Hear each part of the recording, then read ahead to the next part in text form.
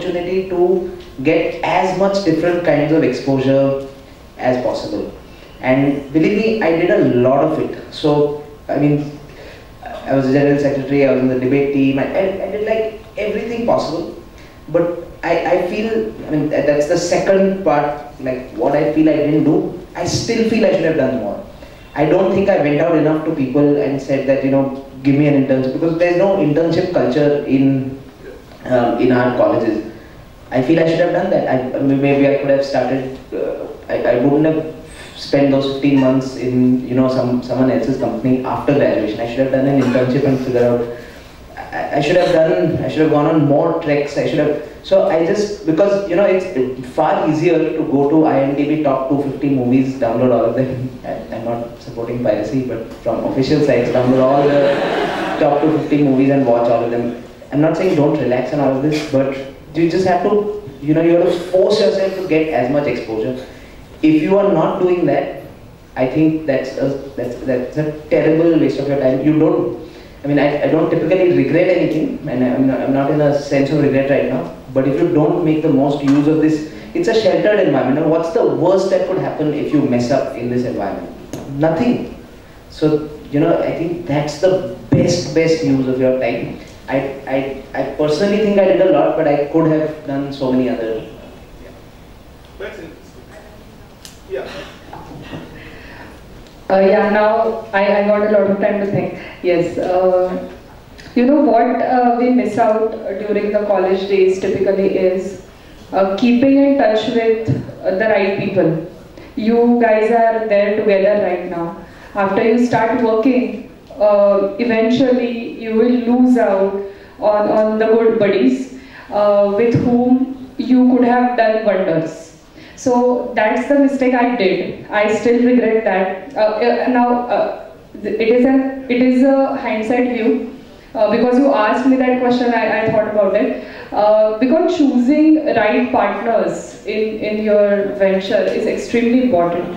And you have to keep in touch. You have to keep your eyes open. Who are the people who think alike? Though uh, it could be a possibility that they are not yet ready for something like a startup, but, but you do not know after four or five years or, or after some time they would be ready. There, there is no harm keeping in touch with the right people. So that's something you should really, really concentrate on, which I totally missed out during my college days and I'm not in touch with those scholars right now. I don't know if I would have been, I could have done something different. Uh, I don't regret it that much, but it would have been great if, if they were with me right now. So, so that's something which you should look at, I think. That's very, interesting. Uh, going back to something, uh, you know, uh, when you all introduced your stories, I think, Shri, you have done longest period of employment. And uh, I think eight years you say. Then also a small outfit, but 20 years. 20 years. So I was very happy when you said that there are young people on both sides of him. but believe me, it doesn't show. We don't believe that yeah. uh, you've done 20 years of uh, yeah. service. So, you know, it is so difficult uh, by the time you decided to change uh, uh, the tracks. There is a difference of whole ecosystem environment, which also, fine, you made your call or you made a decision, but there is a whole environment or ecosystem around you which also has to gel into this new alternative that you have chosen. How, how did that uh, transformation happen? How, how did your family and environment and friends and how did everyone react? How did you convince them or maybe they didn't need to convince? What, what is the, that part of the story? Um, so thankfully I've, um, I've always uh, had the support of my family members. Um, they were obviously scared when I started uh, hinting to them of what my intentions were. Um, but no one ever resisted, uh, no one ever attempted to stop me. There were concerns, of course, and there were valid questions as to have you ensured that, because it's a single income family and, and that makes it really tough to kind of uh, do away with the salary and suddenly uh, uh, set out on your own. What 20 years does, on the other hand, is it allows you time to put aside your kitty. So, so, so I know that I can give a certain number of years uh, without having to worry about uh, you know, running the kitchen. Um, I think the only person who kind of said something which shook me to my core was my child. Um, when he asked me uh, a few months into the venture that how long do you think the money will last? Is it enough for the next three months? Uh, or would it get over even before that? And that shook me because it, it, it I realized how much um, how much he was worried about it and he was not showing it. And then I realized that that, that was the case with everyone around. They were all How, how worried. old is he? Uh, he, he was 11 when he asked me this question. Oh, Yeah, so, um, and I realized that that's the question probably in everybody's minds, and, and they're just not asking it, they're just putting up a brave face. Uh, but yeah, but, but that's about it. I think, I think I've been fortunate in that sense. Is it easy? It's not easy, trust me. It's, it's very, very, very painful. Um, the last time when I uh, spoke at a seminar, I said it is almost like a de-addiction program that you have to go through because you're so used to receiving money at the end of the month and all of a sudden it stops coming in. Uh, it, it, it's, a, it's a tectonic shift that happens in your life. So, so yeah, it, it, it, uh, it's, it's tough, but it's fun. Mir, uh, your venture in a way is the longest one which is uh, surviving very well or doing very, growing very well, I should, I should say. Uh, back in 2010, I think you, s- nine, back in 2009 when you set out to do that, startup was nowhere a byword. Today, startup has become a very, very common word which is repeatedly, of course, there is a Startup India, and there are conferences like this one, uh, there was Lok Sabha conference, and there are so many events happening around it. Do you feel, because you have started when this word was not around, do you feel we have overcooked the goose? Do you feel that we are going to the other extreme in this whole startup thing? What, what is your take on it? Uh, how do you see it? Because, you know, uh, when you started, it was not a fashion.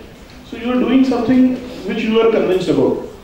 Do you see this risk that people will start doing it because everyone is doing it? Do you feel that? And what is your answer to it? Yes. So how, how what will you advise our students? Because you know a student says, oh startup, great, this is something everyone is doing, this is exciting, this we must do. What will be your No, so I think uh, I think very much the goose is overcooked to some other extent at this point in time. Uh, I think what has happened is that uh, I mean, okay, so the, I mean the word was around. I, I used to volunteer for an uh, event called Startup Saturday. That's when I actually met my co-founder for the first time. So it was around at that time, but it was like you know like a niche event. Like Shri said, you know, nobody. I mean, it, it was not as um, common as it is today. And I think one of the things that has happened is you know we are hyping something that has been around forever. I mean, I mean, starting businesses has been going on for forever. I mean, it's only literally only in the last 150 years did you like most. I mean, 150 years back is when like factories started and then clerical jobs started. That's when this concept of a job actually came out, came about, right? Last 150 years. It's actually an unnatural concept. But so actually business is usual, job is unusual. Absolutely. It's It's, it's, it's just that we are born into a system which is, um, you know, especially us from a middle class, our parents work uh, in, um, you know, somebody else's business, etc. Which is why it seems. So I think, uh, you know, the startup world itself is, you know, goose is cooked is one way, the other way I think of it, it's been romanticized. You know, when you romanticize something, un- uh, yeah, when you romanticize something, it, you know, when you know when, when something is romantic, it means there is no reason to it, right? So you fall in love, there, there's no reason for that. So it's like when you romanticize something, people start pursuing it without rhyme or reason. And to be very honest, I think um, you know I completely agree with Sri's point of you know people are not uh, born entrepreneurs; they can learn, etc., etc. At the same time, I don't think it's wrong to say that entrepreneurship is not for everyone. It's not for everyone, and it's not about inherent capability. It's about environment. It's about you know what uh, ecosystem you operate in, etc., etc. Now, what happens is it's not for everyone, but it's been romanticized. So exactly. So there is a you know the, the, the tendency is that and, and at least right now because startups are not doing well and we there's been a bloodbath at I mean I don't know whether I should call it Flipkart or whatever it is whatever is going on. in 2015, I was meeting people every single week, at least one person saying, I want to get. I'm like, boss, what is going on? I mean, you know, that's the, so it's not like 2015. I think 2015 was like insane. But yeah, very much the romanticization is there. And I, I don't know whether it is justified or not. That's what I feel. Yeah, please. So the question is very, very, very relevant. Mm, uh, 2015 was supposedly very good for startups, okay? Uh, but OpenDay couldn't raise even a single rupee because uh, we had a lot of pressure from investors that uh, we think Dharmik Vidhi should be done like this, Dharmik Vidhi should be done like that. Oh, you do not have a website. Oh, no app. How will you survive? And, and we were very disappointed when every other venture capitalist and every other angel investor said no to us to even give a single rupees. But at the same time, we knew what we were doing. We knew what would work. Uh, we knew uh, in Dharmik Vidhi area, just opening an app will not work because nobody sitting here would come on the app, click on Vastu Shanti, pay 25,000 and say, yes, we are expecting pundits on this particular day. No, the area is very different. So we kept on hitting back uh, to the investors saying, all your, what you are saying is right. That is what is happening. We understand you want to put money into these kind of companies, but if we do that, we will fail. We know that. And we are okay with putting our own saving or, or uh, the, the, the point which uh, she said, uh, we uh, had very little saving, we have rather, and right now we are not able to save even a single rupee. But uh, we have some confidence that what we are doing, uh, we are going to survive, and we are we will complete two years in, in this March, and till now by the God's grace, because we are doing a work of God. That is what we believe. Uh, we haven't faced even a single rupee trouble. Uh, every time there was some way out out of the difficult situations and uh, uh, I would also want to stress one thing because this is the age where you have to learn these things that you have to choose a simple life if you really want to do something. We chose simple life. We were earning more than 3 lakhs per month when we were doing a job. But uh, we, I don't remember we did pubbing or, or we had a lot of coffees and CCDs even twice or thrice in a month. No, we were saving that money because we knew we would need that at some point of time. We do not have a car, we sleep on the floor, we still sleep on the floor, we do not have double beds and we are okay with it. We do not have a LED TV, we have a normal TV because we hardly watch TV. So it was a call that why to put so much of money when we are not even watching TV for 5 minutes.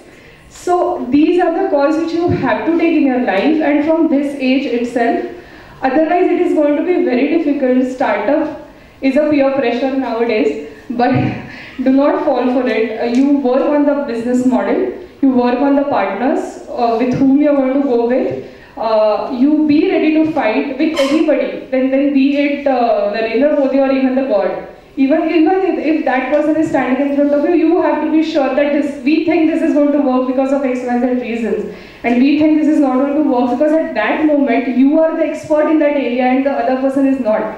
So you have to maintain this attitude, choose simple life, and, and then proceed. And, and by simple life, I do not mean you become another uh, Mahatma Gandhi and start wearing dhoti. You, there are ways to choose a simple life for your requirement and and uh, you if you think if you give a thought to it you would know where you can save and uh, where you are just spending money without any reason so so this is how it should be from this age then only it will work out at, at a later time That's very interesting message indeed.